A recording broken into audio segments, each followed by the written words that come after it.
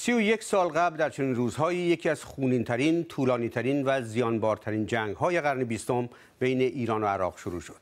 مهمان من که یک دیپلمات کهنکار امریکایی است با دهها سال کار در منطقه خاورمیانه و کشورهای عربی در سالهای جنگ ایران و عراق سفیر امریکا در عربستان سعودی و بعد معاون وزیر خارجه در امور خاورمیانه بود.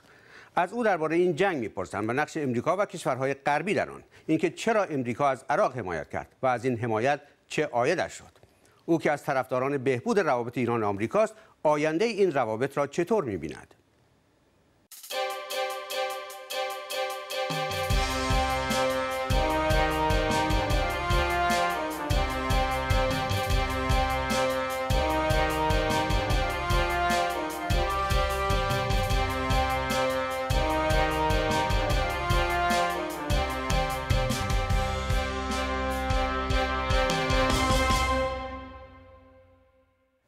Ambassador Richard Murphy, welcome to Be Bharat Digar. Thank you. Ambassador, uh, this month marks the uh, 31st anniversary of the Iran-Iraq war, and let's start with that war, uh, Ambassador, if you don't mind. Um, why do you think the U.S. and the Western country in general supported Iraq in that war? I think you have to remember in the in 79, 80, 81, uh, that the Cold War was still very much uh, in play. That that was in the backdrop of the policy for the policy thinkers in the West. Secondly, it was the attitude, and perhaps that's the more important reason, the attitude expressed by the Iranian leadership at the time of the revolution and throughout really the first decade of the revolution that Iran was the leader of Islam and that all other regimes were corrupt and must be destroyed, must be replaced. And as far as speaking as an American, uh, uh, we had solid relations uh, with Saudi Arabia, as we still do, relation, good relationships with Egypt and a number of other states who were targeted by Iranian rhetoric. And uh, that, that certainly pushed uh, American policy towards a uh, negative, even hostile view of Iran. Um, the Iran-Iraq war often uh, described as a war of attrition uh, by design, they say, uh, by the Americans and the Western country, um, in a sense, in a way that they supported the both regime to the extent that none of them come out winner of this war. Uh, if that is the case, do you think that uh, that was uh, a collective decision uh, made by the Western country? No, I don't believe so. And in fact, there was no single opinion in the Washington where I worked from 1983 to 89. Uh, I, heard that opinion expressed that uh, it was in American interest that the two sides bleed each other white. Uh, that it was not in our interest that either side win the war. I personally uh, followed the position that it was in the American national interest to bring the war to an end as soon as possible because of the dangers that it would spill over against close and uh, uh, states uh, in the Persian Gulf area, in the Gulf Cooperation Council states, and we did not want to see that kind of threat uh, against those interests that we had in those states. But then, in that case, what was the purpose of the Iran-Contra when the, uh, uh, the Americans actually secretly, in violation of the, uh, the, the, the, then resolution, the arms embargo against Iran, they provided arms to the Israelis, to Iranians? Well, that was, that was a diversion from our policy, a diversion which had been spearheaded, uh, as the records show, by uh, individuals such as Colonel Oliver North, who was then on the staff of the National Security Council, in an effort to uh, get freedom for the hostages uh, that had been uh, detained in Beirut. And looking back, it's uh, perhaps difficult to remember the, the passion that that situation aroused First of all, there had been the hostage taking of the American embassy staff back in 1980. continued for 444 days, I believe. Then the Beirut hostage situation became almost an obsession for President Reagan and others in the administration. But the president personally was very much involved in that. And the arms under Iran Contra, uh, designed to get the release of those hostages, was the exception to policy, a decision known to practically no one in Washington outside of a very small circle. I was surprised that it had been taken. It was, it was an embarrassment uh, for one who was trying to apply the policy of uh, blocking all arms deliveries to Iran. But that was, that was the reason for it. But I just would restate very firmly that uh, there was a mixture of opinions about Iran uh, in Washington, and there were those that hoped there could be an opening to Iran. There were those who said, no, the Iranian leadership is implacably hostile to America. And uh, this, is, this is, of course, the case that's continued over the years, both in Washington and in my reading of Tehran, a mix of opinions.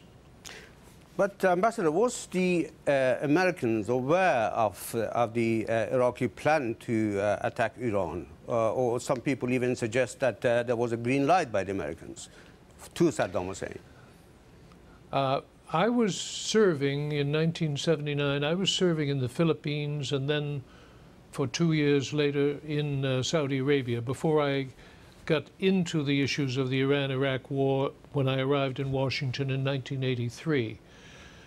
But my reading of the history of that earlier period, 79 to 83, was that the war itself came as a surprise. There was tension. There were incidents caused by both Tehran and Baghdad against uh, each other. And then finally, uh, a decision by Saddam Hussein to move troops into Iranian territory on the assumption that the Iranian Arab population, those of Arab uh, descent, would rise in support of Iraq. And of course, they never did. They remained loyal to Iran, and those uh, long, terrible years of uh, bloodshed and carnage followed.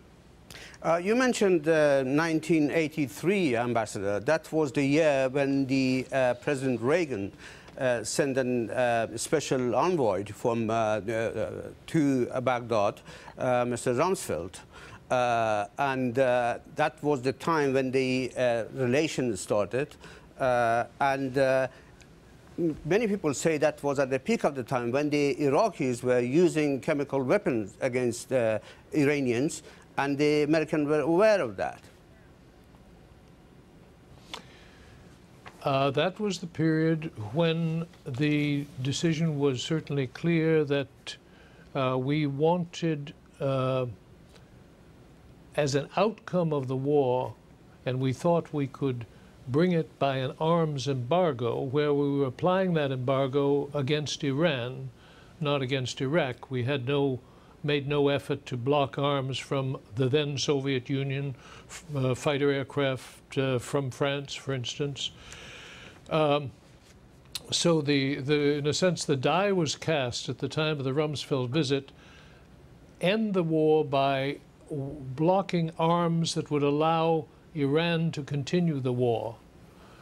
And the stories, yes, of chemical warfare that you raise, I think uh, Washington was aware of that uh, that there had been, I believe, mustard gas uh, used in the in the southern sector, uh, very clumsily used, uh, as I understand it. That uh, some would drift back and poison Iraqi soldiers as well as the Iranians that were affected by it.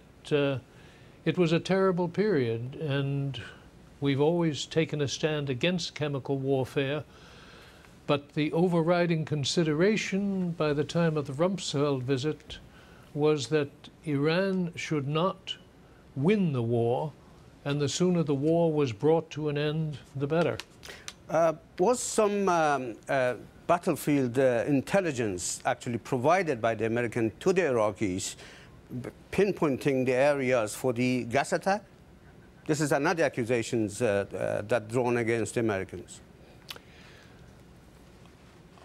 What I understand, again, this is something where I was not directly involved, but I share with you my understanding of this, the situation in Washington, that there was advice given relating to order of battle on the Iranian side that uh, was of assistance to the Iraqi Air Force in targeting Iranian uh, forces.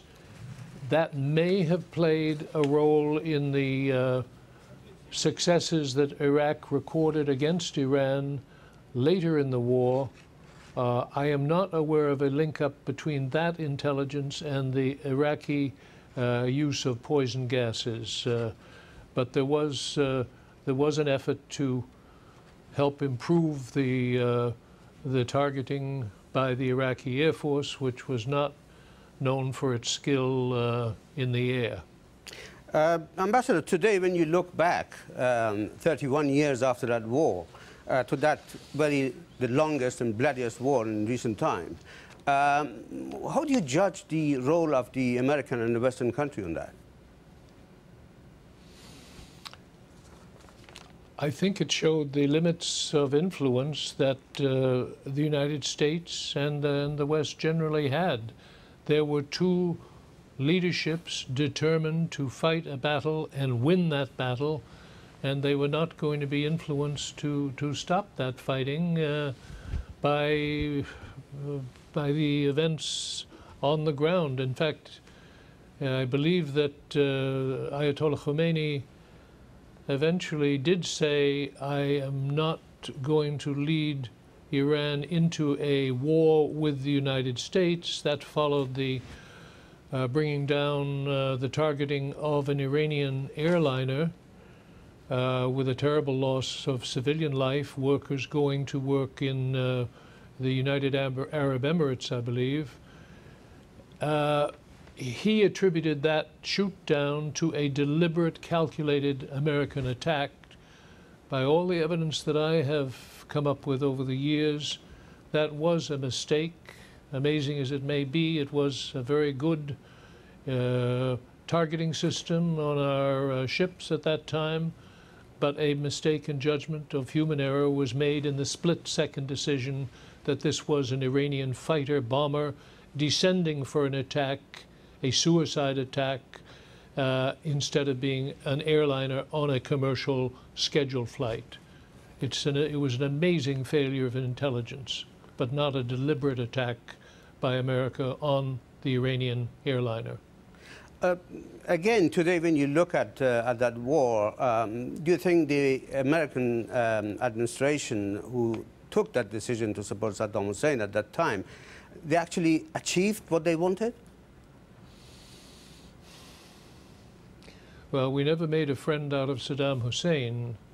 The suspicions towards America in Baghdad on the part of the Saddam Hussein regime were very deeply rooted, and the fact that uh, we would be uh, doing our best to limit and block the delivery of arms to Iran didn't persuade them that uh, we had serious intentions of friendship towards Iraq.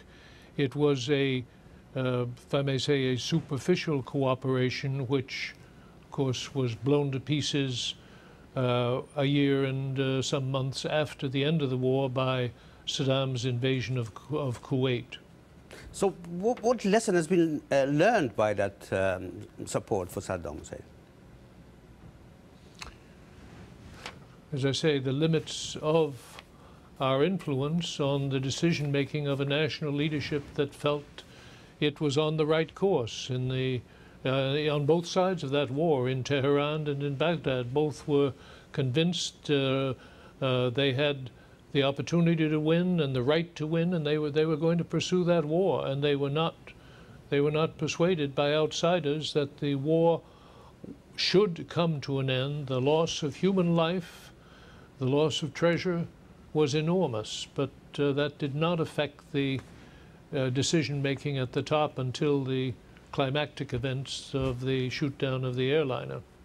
Um, Ambassador, you have been one of the advocates of, of uh, negotiating, talking uh, to uh, Iranian government, and uh, in a sense, trying to improve relations. Uh, after the victory of President Obama, there was some hope. Many people actually they were very optimistic.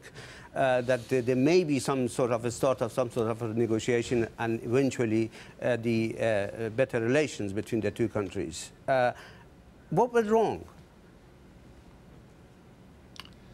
Well, it's, it's been very sad, not just since the election of President Obama. I think our two countries have, uh, the relationship has been marked by an inability to synchronize moves towards one another. At times there were efforts from Tehran to open a dialogue and sustain a dialogue with Washington. Washington wasn't listening, wasn't ready to listen.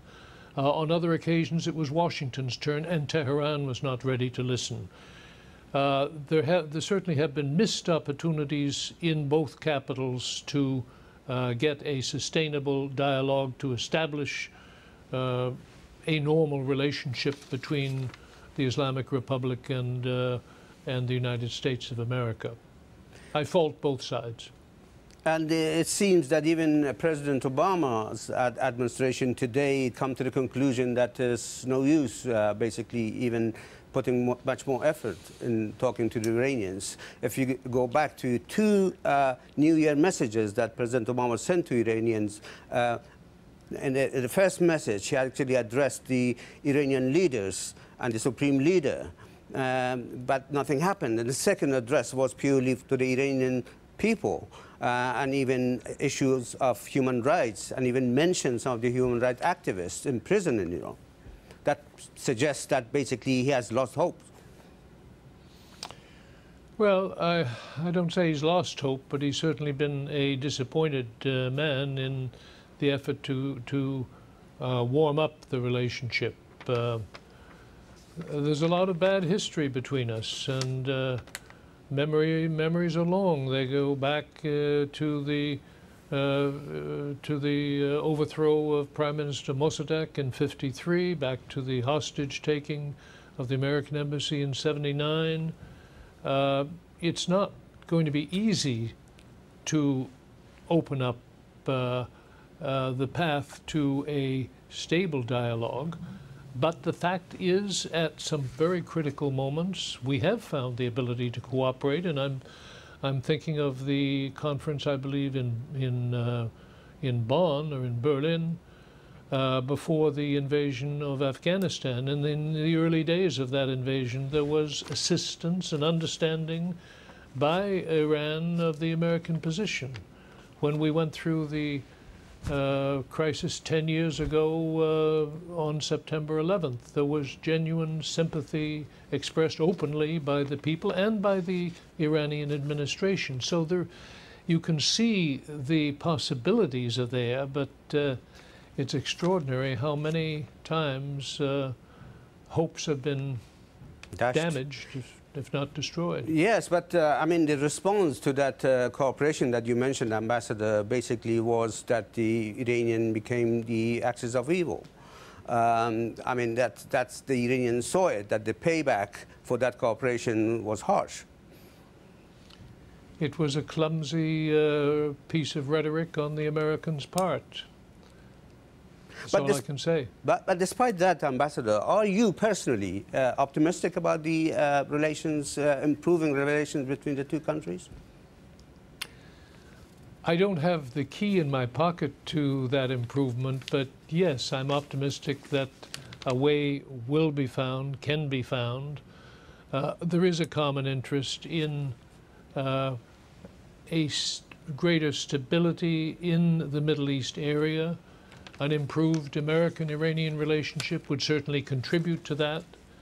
So I, I, hope the, the keys are in the pockets in Tehran and in Washington today, but uh, nobody appears to be uh, using them. There have been uh, efforts to um, damage the possibilities, as I see it from the Iranian side, with this uh, very strong anti-Israeli rhetoric, and that's certainly been proven as a way to uh, alienate uh, Americans, to hear statements attributed to the uh, by any leadership of uh, hostility to the point of wishing that the state of Israel would be destroyed. Uh, the search for pursuit of the Iranian nuclear program, which our experts, our authorities uh, are persuaded are, are aimed at a nuclear weapons program. These have all caused a uh, setback to and a diminishing of hopes for any early reconciliation. But yes, at the end of the day, I'm optimistic we need a better relationship on both sides. Yeah. Uh, Ambassador, you mentioned Middle East and Israel. Uh, some people believe that if the conflict in Middle East is resolved somehow, uh, that's going to have a positive effect in the region and resolves many other problems, including the Iranian problems uh, in, in, the region. I know you are one of the advocates of the, of the uh, resolving this conflict, and you're a, a, distinguished expert on the Middle East, as you have been in many Middle Eastern countries yourself. Uh, now the Palestinians are planning to uh, request uh, a recognition by the United Nations as a state. Uh, the Americans already have said that uh, they're not in favor of it. Uh, what's your view on that? Well, the Americans are not, the administration is not in favor, favor of it uh, at this time in the, in the belief that it will only increase the difficulties of restoring uh, sensible, rational negotiations between the Israelis and the Palestinians. They feel it will open the doors which people will go through uh, to act, to react, which will increase the distance between Israelis and Palestinians as they try to work out the, their fundamental differences on the so-called final status issues of borders, the refugees, Jerusalem, etc. Um, th there are there are different ways ahead, and we'll know which is chosen very in the next coming days when Mahmoud Abbas, the president of the Palestinian Authority, addresses the uh, General Assembly, I believe on the 23rd of September. Will he go to the Security Council, where an American veto of a move towards a member state uh, is guaranteed, or will he go to the General Assembly and seek uh, the status of a an observer state, uh, such as the Vatican uh, uh, practices today in the General Assembly? Uh, much will depend on much will depend on that, but there there is a it's a it's a nervous time in our Middle East diplomacy, and it's not that America is opposed to a two-state solution of an independent Palestinian state. I hope that that is that's clear in the region. But uh, they do feel that uh, pressing for membership, full membership in the United Nations today, this is not the right time. There's so a lot of work to be done apart in from negotiations. That, apart from that, uh, Ambassador, what do you think is the main obstacle preventing this, uh, uh, any sort of resolution to this conflict? To the Israeli-Palestinian yes. conflict? I think uh, there are many, for many Israelis, it's uh, very painful to contemplate a return of the territories on the West Bank, in East Jerusalem that uh, have been, uh, which they occupied in 1967. They see it as part of their, their homeland, their patrimony. Uh, some see it as the promise of uh, God Himself to the Jewish people. Others see it as a strategic uh, negative to surrender control. Uh, I think that the it's not really possible to discuss it with those who say their stand is purely religious. For those who are concerned about strategic issues, well, peace would itself transform the region, transform the relationship, and safeguards can be built in so that uh, a uh, the construction of a viable independent Palestinian state will not be a threat to the future of Israel. But they're not persuaded yet. Yeah, Ambassador, we have only one minute. If, I, if you might uh, ask you just one more, the last question basically is that the, what's happening in the Middle East at the moment in various countries and this uh, uh, Arab Spring, as they call it, uh, what do you think is going to have, what sort of impact is going to have on this peace process in the Middle East and in the region as a whole, including Iran? Well, first, I think it's a, it's a very exciting time for the Arab peoples they, they see the possibility now of a different relationship between themselves and their governments, where they were subjects.